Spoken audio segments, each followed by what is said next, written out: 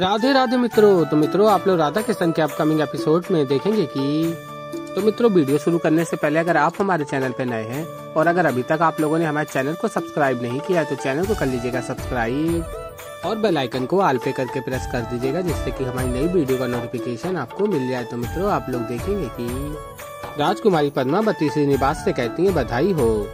कहती है, इतनी बड़ी बात हो गई और तुमने मुझे बताया तक नहीं। और फिर श्रीनिवास कहते हैं, कौन सी बड़ी बात? और फिर राजकुमारी पद्मावती बताती हैं तुम्हारे विवाह की बात। स्वयं गोविंद राज ने आज तुम्हारे विवाह की बात की, और वो भी पिताश्री और बासु के समक्ष। और कहती है, राजकुमारी, यदि तुम विवाह के विषय में सोच रहे हो, और यदि तुम्हें कोई सहायता चाहिए थी ना तो तुम मुझसे कह देते। मैं मना थोड़ी ना करती, और फिर श्रीनिवास कहते हैं हाँ हाँ मुझे विश्वास है आप पे, कि आप मना तो बिल्कुल नहीं करती।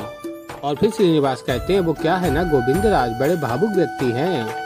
वो इसी चिंता में थे कि हमारे आगे पीछे कोई परिवार वाला भी नहीं है। और वो इसी चिंता के कारण गए राजा आकाश के पास, और कदाचित उन्होंने अपने मन की बात रखी होगी। और फिर श्रीनिवास कहते हैं, आप उन बातों पे ध्यान मत दीजिए, मुझे कुछ भी नहीं चाहिए। और फिर राजकुमारी कहती है, तुम मेरे गुरु भी हो, और मेरे मित्र भी। यदि तुम विवाह के विषय में सोच रहे हो तो तुम मुझे बताओ ना कि वो कौन है कन्या? कैसी दिखती है, उसे क्या भाता है और क्या नहीं? कुछ तो बताओ। और फिर श्रीनिवास कहते हैं तो आप मुझसे कह रही हैं कि मैं आपको मैं आपको बता सकता हूँ यदि मैं विवाह के विषय में सोच रहा हूँ। और फिर राजकुमारी कहती हैं, अवश्य बता सकते हो। बताओ कौन है वो? और फिर श्रीनिवास कहते हैं, वो क्या है न कि मैं इस प्रश्न का उत्तर कैसे दे सकता हूँ? मैं तो अब तक उस कन्या से मिला ही नहीं। विवाह तो दूर की बात है। राजकुमारी, सत्य कहूँ तो? मेरे पास आयु के अतिरिक्त और है ही क्या? कोई भी मुझे एक वर के रूप में योग्य समझे। कुछ नहीं है, न धन है, न घर है। कुछ भी नहीं है, बस इतना जानता हूँ कि अभी तो बहुत परिश्रम करना है बहुत कुछ अर्जित करना है। इसलिए आप बड़े भाई की बातों पर ध्यान मत दीजिए। मुझे कुछ नहीं चाहिए, और फिर श्रीनिवास आज्ञा लेके चले जाते हैं, और तभी राजकुमारी पद्मावती कहती हैं, न जाने क्यों ऐसा लग रहा है कि श्रीनिवास मुझे स्पष्ट रूप से कुछ नहीं बता रहा है। नहीं जानती कि ऐसा क्या करूँ जिससे मुझे मेरे प्रश्न का उत्तर मिले। किंतु हाँ इतना अवश्य जानती हूँ कि मैं श्रीनिवास की समस्या का हल कैसे कर सकती हूँ। जो भी गोविंद राज ने आज मांगा है, मैं उसे दिलवा कर रहूँगी और फिर मित्रों, आप लोग आगे देखेंगे कि गोविंद राज कहते हैं, अब ये सब देख के श्री अत्यंत प्रसन्न हो जाएगा। और फिर श्रीनिवास आ जाते और देखते हैं। और तभी गोविंद राज कहते हैं, तुम ही कह रहे थे ना श्री? कि हम कैसे स्वयं का घर बनाएँगे? कहाँ से लाएँगे धन धान्य ये सब। तो देखो अब सब समस्याएँ हल हो जाएँगी। जैसे ही हमें हमारा घर मिलेगा ना सर्वप्रथम, हम तुम जाकर ऋषि भृगु से, अपने विवाह की बात करना भार्गवी से, उन्हें स्वयं आमंत्रित करेंगे। वो भी तो देखें कि हम कोई ऐसे वैसे लोग नहीं हैं। संपन्न लोग हैं उनकी पुत्री को प्रसन्न रख सकते हैं और तभी श्रीनिवास कहते हैं, क्या आवश्यकता थी? क्यों गए राजा आकाश के पास? क्यों मांगा ये सब गोविंद राज और फिर गोविंद राज कहते हैं, तुमने ही तो कहा था कि ये घर नहीं है, भंडार घर है और हमारे पास खाने के लिए दो मुट्ठी चावल है और इसके अतिरिक्त और कुछ भी नहीं। तो इसी समस्या का समाधान करने के लिए ही गया था मैं राजा आकाश के पास। अब देखो, राजा आकाश ने सत्य में सहायता कर दी और फिर श्री शांत बैठ जाते हैं और तभी गोविंद राज कहते हैं, क्या हुआ श्री मुझसे कोई त्रुटि हुई है? भूल कर दी मैंने। मैंने तो अच्छे के लिए ही किया ये सब, फिर ये सब देखकर तुम प्रसन्न क्यों नहीं हो? और फिर श्रीनिवास सोचते, अब मैं आपको कैसे बताऊँ, बड़े भाई?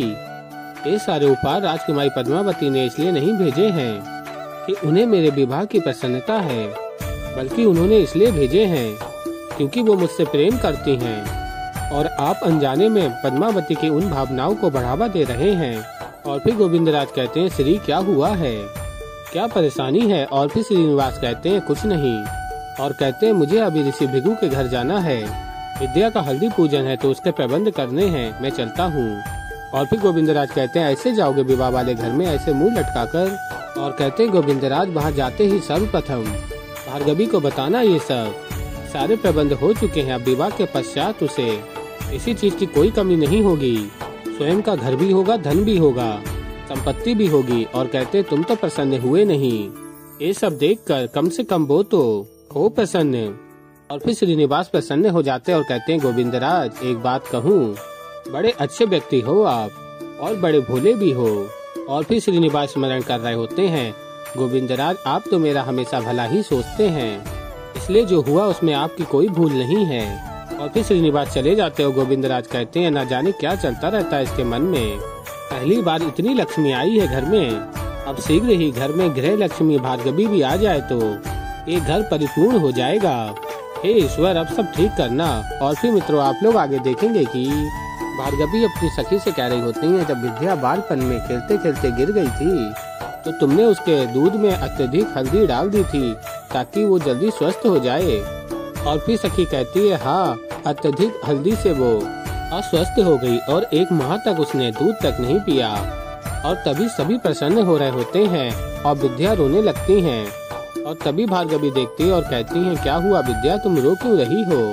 और तभी भार्गवी की माँ आ जाती है और कहती है, विद्या, क्या हुआ पुत्री? और फिर भार्गवी कहती है, देखो ना माँ, पता नहीं आकाश मात्र क्या हो गया। हम तो केवल बालपन की ही बातें कर रहे थे और ये रो पड़ी। और फिर भार्गवी की माँ कहती है, कुछ तो बताओ पुत्री, हुआ क्या है? और भार्गवी कहती है, विद्या, बालपन से लेकर आज तक। हमने एक दूसरे से कुछ नहीं छुपाया। तुम तो मेरी बहन जैसी हो। तुम्हारे नेत्रों में आँसू देखकर मुझे भी पीड़ा होती है। बताओ ना क्या हुआ है? और फिर विद्या बताती है शादी में विदाई के बारे में। और कहती है, मुझे भी एक दिन सबको छोड़ के जाना पड़ेगा। आप सबको छोड़ के, अपने परिवार को छोड़ के। और फिर भार्गवी की माँ कहती है, यही संसार का नियम है, पुत्री। बेटी अपने घर को छोड़कर जाती है। तभी तो किसी और के घर में लक्ष्मी का आगमन होता है। और फिर विद्या कहती है, पर बर भी तो अपने परिवार को छोड़कर जा सकता है ना? वधु के घर रहने और तभी भार्गवी की माँ कहती है, नहीं आ सकता, क्योंकि अपने से बिछड़ने का सामर्थ्य और दूसरे को अपना परिवार बनाने की शक्ति केवल एक स्त्री में होती है। और तभी भार्गवी भी ये सब सुन के रोने लगती हैं और अपने कक्ष में जा रही होती हैं। और तभी भार्गवी की माँ कहती हैं, भार्गवी अब तुम्हें क्या हुआ? और फिर भार्गवी कहती हैं, एक दिन मेरे साथ भी ऐसा ही होगा, और आप मुझे इसी प्रकार समझाने का प्रयास करेंगी। और फिर भार्गवी चली जाती हैं अपने कक्ष में, और भार्गवी की माँ कहती हैं, लो, एक का रुदन बंद हुआ तो दूसरी का प्रारंभ हो गया। और फिर मित्रों, आप लोग आगे देखेंगे कि भार्गवी अपने बाबा और माँ की स्मृतियों को स्मरण कर रही होती हैं अपने कक्ष में, और कहती हैं, भार्गवी, मैं श्रीनिवास से इतना प्रेम करती हूँ। किंतु माँ बाबा को भी कैसे छोड़कर जा सकती हूँ?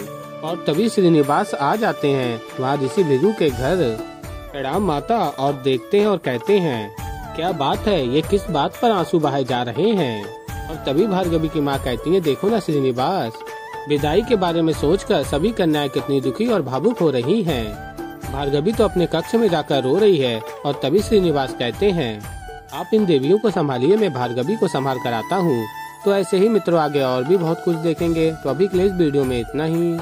तो मित्रों, अगर आप लोगों को हमारी वीडियो पसंद आई हो तो वीडियो कर दीजिएगा लाइक। चैनल पर नए हैं तो चैनल को कर लीजिएगा सब्सक्राइब और बेल आइकन को आल पे करके प्रेस कर दीजिएगा, जिससे कि हमारी नई वीडियो का नोटिफिकेशन आपको मिल जाए।